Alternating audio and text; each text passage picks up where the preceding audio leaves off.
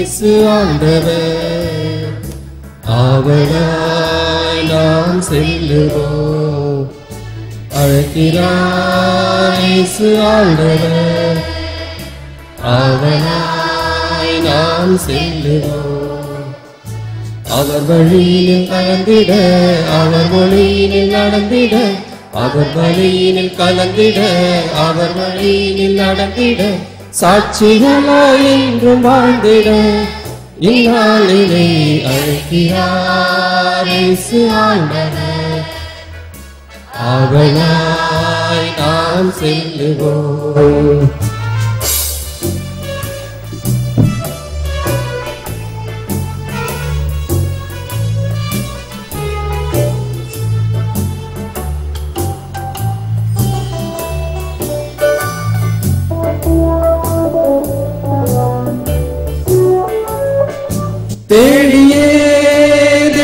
வருகிறார் தன்னையே நாளும் கருகிறார் தோள்களில் நம்மை தாங்குமா?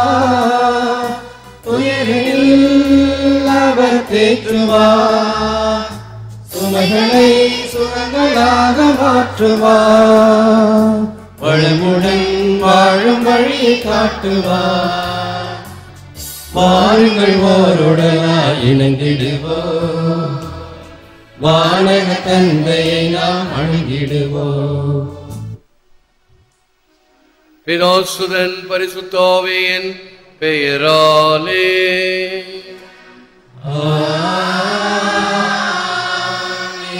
நம் இயேசு கிறிஸ்துவின் அருளும் கடவுளின் அன்பும் பரிசுத்தாவின் நட்புறவும் உங்கள் அனைவரோடும் இருப்பதாக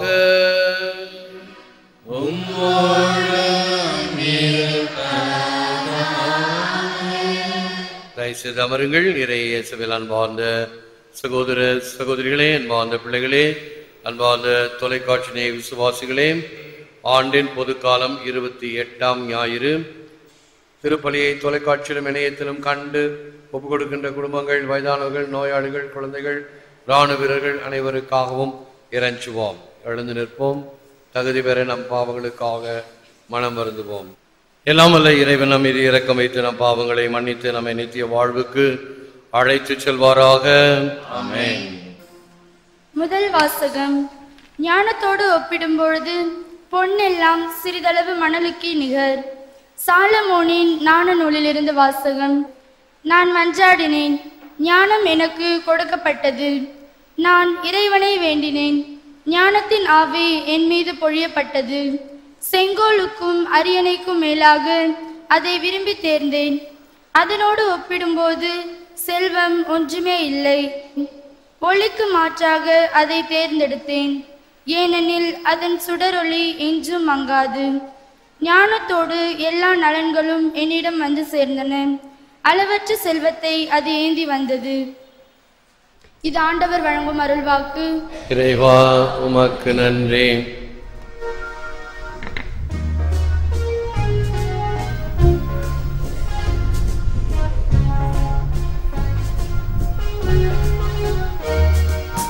உமது பேரன்பால் நிறைவழியும். நாங்கள் கடிகோர்ந்து மகிழ்ந்திடுவோம். எங்கள் வாழ்நாளை கணிக்க எங்களுக்கு கற்பியும். அப்பொழுது ஞானமிகு உள்ளத்தை பெற்றிடுவோம்.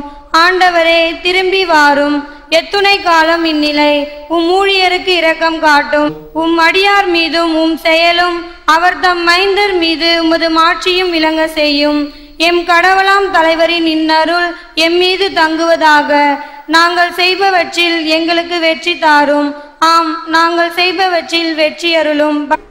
இரண்டாம் வாசகம். கடவுளுடைய வார்த்தை உள்ளத்தின் சிந்தனைகளையும் நோக்கங்களையும் சீர்தூக்கி பார்க்கின்றது.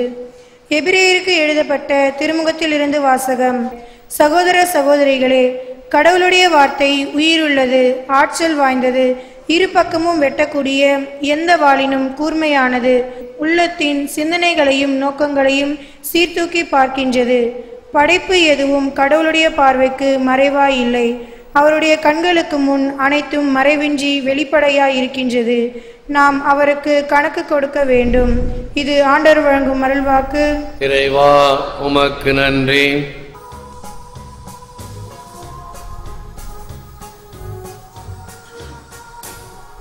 அல்லேலூயா அல்லேலூயா அல்லேலூயா அல்லேலூயா.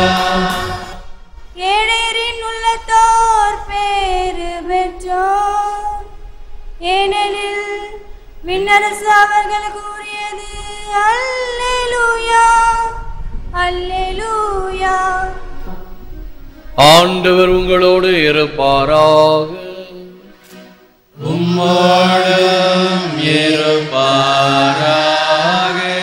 புனித மார்க் எழுதிய நற்செய்தியிலிருந்து வாசகம். ஆண்டவரே உமக்கு மகிமை. இயேசு புறப்பட்டு சென்று கொண்டிருந்தபோது வழியில் ஒருவர் அவரிடம் ஓடி வந்து முழந்தால் படியிட்டு நல்ல போதகரே நிலை வாழ்வை உரிமையாக்கிக் கொள்ள நான் என்ன செய்ய வேண்டும் என்று அவரை கேட்டார். அதற்கு இயேசு அவரிடம் நான் நல்லவன் என ஏன் சொல்லுகிறீர்? கடவுள் ஒருவரை தவிர நல்லவர் எவரும் இல்லையே? உமக்கு கட்டளைகள் தெரியும் அல்லவா? கொலை செய்யாதே விபச்சாரம் செய்யாதே களவு செய்யாதே பொய் சான்று சொல்லாதே வஞ்சித்து பறிக்காதே உன் தாய் தந்தையை மதித்து நட என்றார். அவர் இயேசுவிடம் போதகரே இவை அனைத்தையும் நான் என் இளமையிலிருந்தே கடைபிடித்து வந்துள்ளேன் என்று கூறினார். அப்பொழுது இயேசு அன்பொழுக அவரை கூர்ந்து நோக்கி உமக்கு இன்னும் ஒன்று குறைவுபடுகிறது.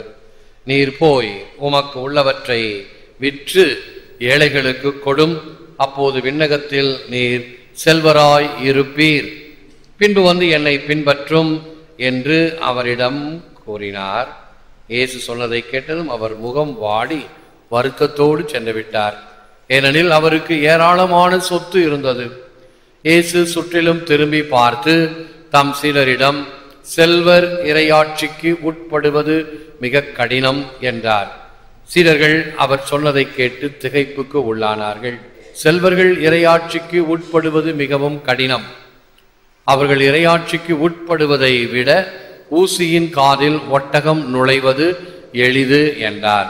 சீடர்கள் மிகவும் வியப்பில் ஆழ்ந்தவர்களாய் பின் யார்தாம் மீட்பு பெற முடியும்? என்று தங்களிடையே பேசிக்கொண்டார்கள் இயேசு அவர்களை கூர்ந்து நோக்கி மனிதரால் இது இயலாது ஆனால் கடவுளுக்கு அப்படி அல்ல. கடவுளால் எல்லாம் இயலும் என்றார். அப்போது பேதுரு அவரிடம் பாரும் நாங்கள் எல்லாவற்றையும் விட்டுவிட்டு உம்மை பின்பற்றியவர்கள் ஆயிற்றே என்று சொன்னார். அதற்கு இயேசு உறுதியாக உங்களுக்கு சொல்லுகிறேன். என் பொருட்டும் நற்செய்தியின் பொருட்டும் வீடுகளையோ சகோதரர்களையோ சகோதரிகளையோ தாயையோ தந்தையையோ பிள்ளைகளையோ நிலபுலங்களையோ விட்டுவிட்டு வரும் எவரும் இம்மையில் நூறு மடங்காக வீடுகளையும் இவற்றோடு கூட இன்னல்களையும் மறுமையில் வா- நிலை வாழ்வையும் பெறாமல் போகார் என்றார். இது கிறிஸ்து வழங்கும் வாழ்வு தரும் நற்செய்தி. கிறிஸ்துவே உமக்கு புகழ். Give to the poor and you will have treasure in heaven. உமக்கு உள்ளவற்றை விற்று ஏழைகளுக்கு கொடும். அப்போது விண்ணகத்தில் நீர் செல்வராய் இருப்பீர். இயேசுவில் அன்பார்ந்த சகோதர சகோதரிகளே அன்பார்ந்த பிள்ளைகளே அன்பார்ந்த தொலைக்காட்சி விசுவாசிகளே ஒரு மகான் ஒருவரிடம் சொன்னார் உனக்கு ரெண்டு வீடுகள் இருந்தால் ஒரு வீட்டை ஏழைக்கு கொடுப்பாயா? தாராளமாக கொடுப்பேன் அப்படின்னு ரெண்டு கார் இருந்தா ஒரு கார் ஏழைக்கு கொடுப்பாயா? தாராளமாக கொடுப்பேன். ரெண்டு மோட்டார் சைக்கிள் இருந்தா ஒரு மோட்டார் சைக்கிள் ஏழைகளுக்கு கொடுப்பாயா? தாராளமாக கொடுப்பேன். அப்படியே வரிசையா வந்தார். கொஞ்சம் கொஞ்சமா கீழே இறங்கி வந்தார். ரெண்டு சட்டை இருந்தா ஒரு சட்டை ஏழைகளுக்கு கொடுப்பாயா? ஆ கொடுக்க மாட்டேன். என்னையா மற்றதெல்லாம் கொடுப்பேன்னு சொன்னேன் சட்டைக்கு வந்தோன்னு கொடுக்க மாட்டேன்றியா? அதெல்லாம் என்கிட்ட இல்லை. அதனால தாராளமாக கொடுக்குறேன்னு சொன்னேன் சட்டை என்கிட்ட இருக்குதே. அதை நான் கொடுக்க மாட்டேன். இப்படித்தான் மனித உள்ளம். நம்மிடம் இருப்பதை பிறருக்கு பகிர்ந்து கொள்வதில்லை என்பது தயக்கம். இல்லாததா தாராளமா எனக்கு மட்டும் பத்து கார் இருந்துச்சுன்னா எல்லாத்தையும் வித்து நான் பிறர் சேவைக்கு கொடுப்பேன் அப்படின்னு வாய்க்கிளிய சொல்லில் வீரரடி இருப்பாங்க.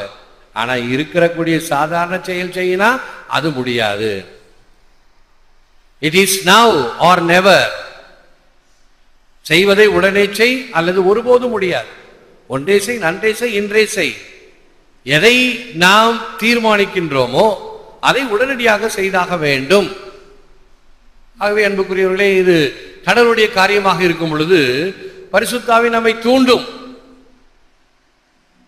அருள்வாக்கை கேட்கும் பொழுது மறையுரையை கேட்கும் பொழுது நான் இப்படி நடக்க வேண்டும் என்று உள்ளத்தில் மனசாட்சி சொல்லும் பொழுது அதன்படி நடந்தாக வேண்டும். கொஞ்சம் நேரம் கொடுத்தா உடனே மனம் குரங்கு போல இங்கே அங்கேயும் அலைந்து அப்படி இப்படி மாறி போய்விடும்.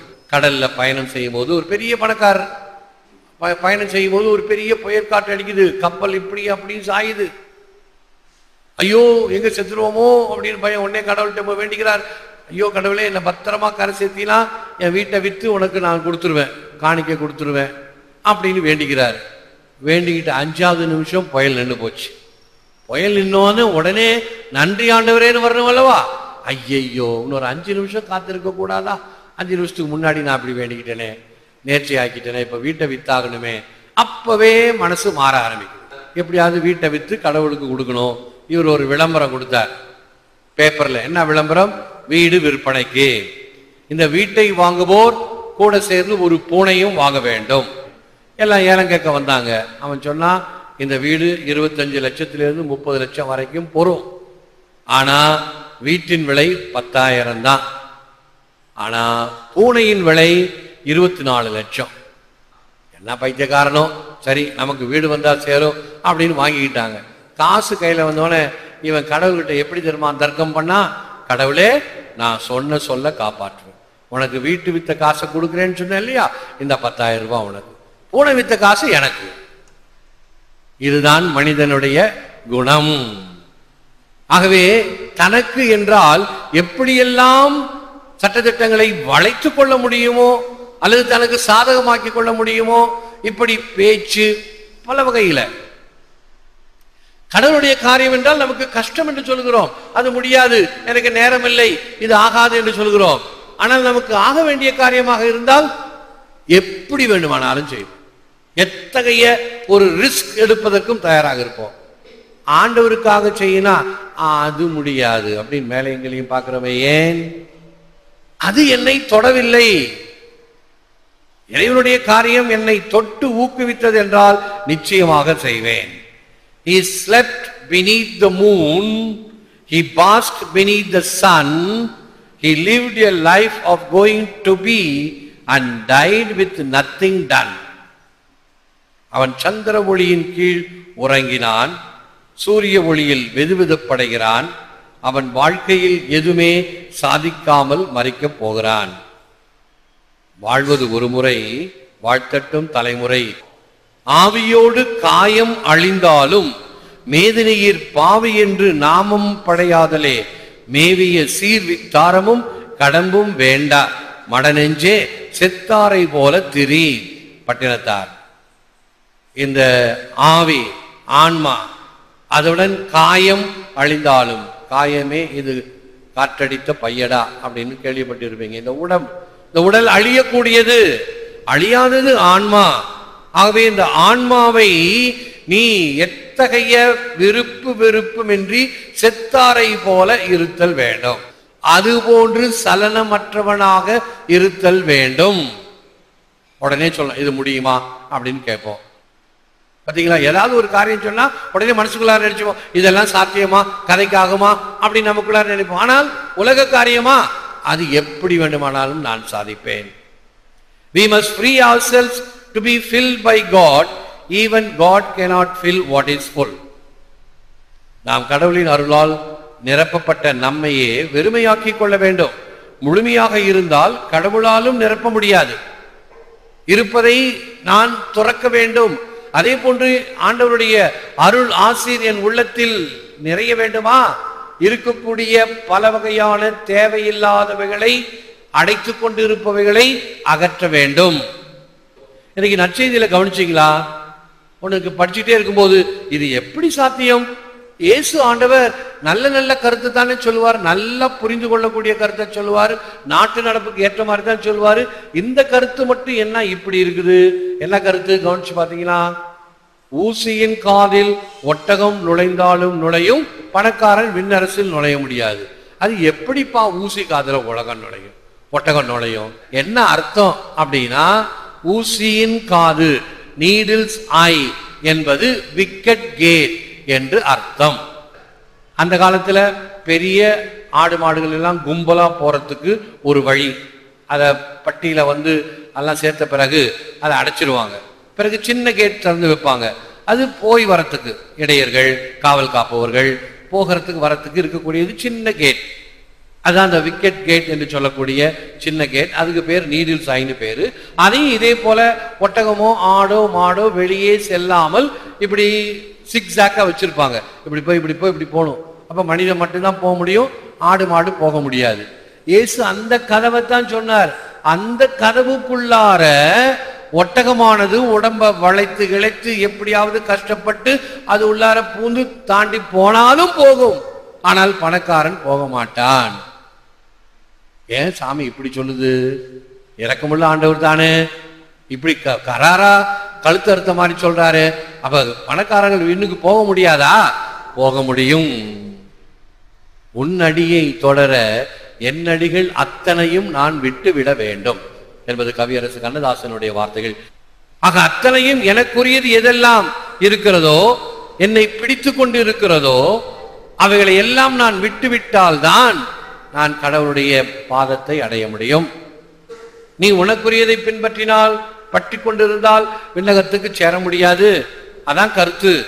ஆகவே உன் மனதில் எது ஆட்சி புரிந்து கொண்டிருக்கிறது? உன்னுடைய விருப்பு வெறுப்புகள் வெறிகளா? அல்லது தனிப்பட்ட பெரியங்களா? இவைகளை விட்டு நீ ஆண்டவர் பாதம் வர வேண்டும். இந்த வாழ்வை இழப்பவன் பெறுகிறான். ஆகவே இயேசுகிட்ட இந்த ராயப்பர் என்ன தர்க்கம் செஞ்சார் பார்த்தீங்களா ஆண்டவரே நாங்கள் இதெல்லாம் விட்டுட்டு வந்தோமே எங்களுக்கு என்ன கொடுக்குறீங்க? விட்டுட்டு வந்தது என்ன?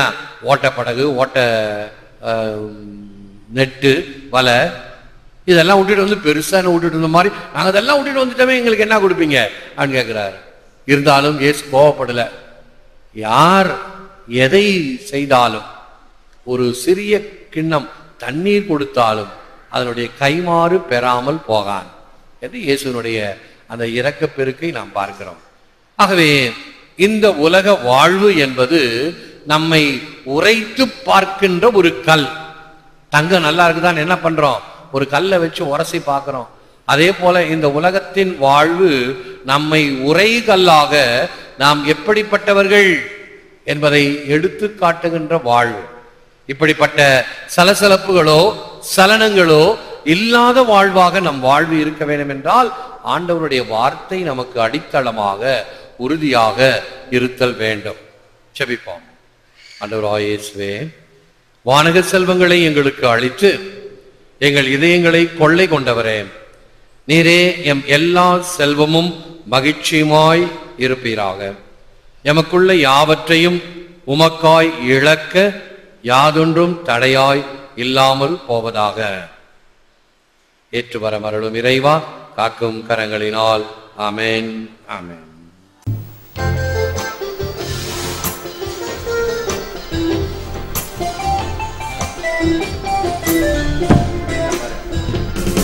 அர்ப்பணித்தேன் என்னையே இயேசுவே உம் அன்பு பலி பீடத்திலே தியாகமாகுவே உம் பாதையிலே பயணமாகுவே உண்மைக்கான சாட்சியாய் வாழ்ந்திடுவே வாழ்ந்திடுவே நான் வாழ்ந்திடுவே அர்ப்பணித்தேன் என்னையே இயேசுவே. உம் அன்பு பலி பீடத்திலே யாகமாகுவே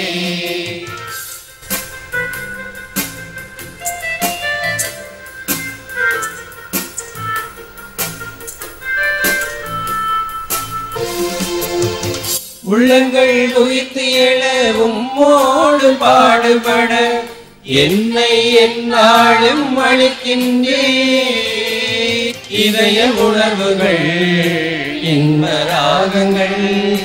இதய உணர்வுகள் இந்த ராகங்கள். எல்லாம் உங்கள் பணிக்கு என அர்ப்பணிக்கின்றே அர்ப்பணித்தேன் என்னையே இயேசுவே. உம் அன்பு பலி பீடத்திலே தியாகமாகுமே. இயேசுவின் மதுரமான திருதயமே மரியாயின் மாசற்ற திருதயமே என் ரட்சணையம்மாயிரும் புனித சூசேப்பரே. எங்களுக்காக வேண்டிக் கொள்ளும். புனித ஆரோக்கிய மாதாவே. எங்களுக்காக வேண்டிக் கொள்ளும். சகல புனிதர்களே தூதர்களே. வேண்டிக் கொள்ளுங்கள். நித்திய ஸ்துதிக்குரிய பரிசுத்த பரம திவ்ய நற்கருணைக்கு இந்நேரம் ஆராதனை சுதி சொஸ்த நமஸ்காரம் உண்ட கிடவது பிதாசுதன் பரிசுத்தாவின் பெயராலே இயேசுக்கே புகழ் மரியே வாழ்க.